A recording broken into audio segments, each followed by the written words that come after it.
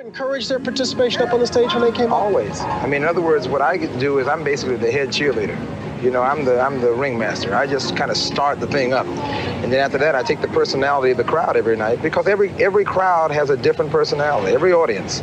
Now so you don't make the shows, you know, standardized every night. Now, there's another thing that I hear has been going on here and here in Sydney that I want to talk to you about. I hear you and Elton John are getting pretty tight. We hooked up, man. It was really great. Uh, we probably been passing for the last five to seven years, and never really had the opportunity to sit and just talk.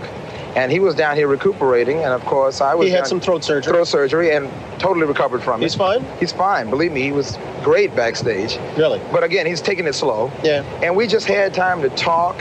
He's in a relaxed mood, not really going anywhere. And I'm here for a week and a half in Sydney. We just hung out on the. We were on the bay the other day, man. Oh, it's great. So, I mean, from this association, is any work going to come? Well, I'm hoping so. We, we actually talked about it, but just lightly, you know. You know, in this business, you don't really make it mandatory. If just if it feels good, you do it.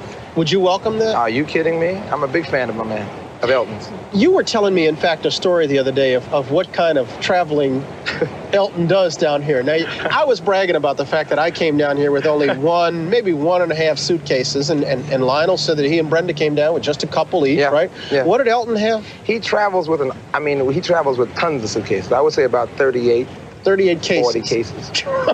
But that's partly wardrobe, partly private. But he's, again, you know, if you know Elton's wardrobe, you know, we've got a lot of stuff to pack now. A little bit of serious business. You and I uh, had a chance to talk when you were finishing up Dancing on the Ceiling, the album. Yeah. And as it first came out, it didn't do what the Record Breaker did, your second album. You Yeah. disappointed? Not really. No, you never go for that. You only go for creativity. You only go for what feels good at the time. And remember now, uh, let's think about the year that just passed. I mean, we Are the World was certainly the record-breaking record breaker of all time. So, as far as I'm concerned, I don't go after record-breaking things. You go after what feels good for you at the time. And that mood that that I felt at that particular time was maybe not like a can't slow down mood, but it's okay. I mean, Yeah. you have your your periods. Adelaide, Brisbane, And then home. LA. Yeah, talk to me. Travel safe.